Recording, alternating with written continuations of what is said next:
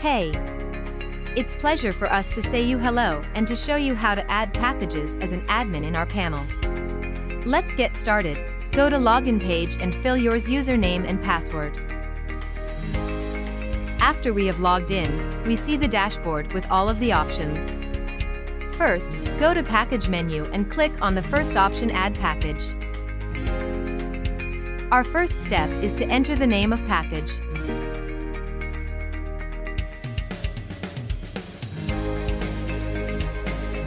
Then you could set the max allowed connections. Below, you can edit any different advanced settings like Restreamer, ISP lock, and others. On the right side of our panel is the menu Assign Packages to Groups. Then, you should choose the package type, it is official or trial.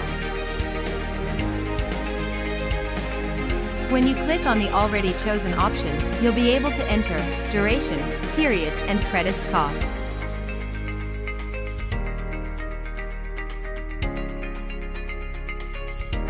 After this you should select the bouquets, which you want to add to your selection.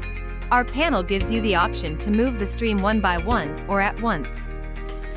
At the end, just click on the Save button and your package will be modified.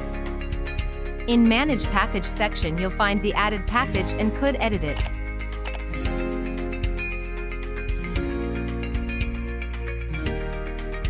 We really appreciate your input, thank you.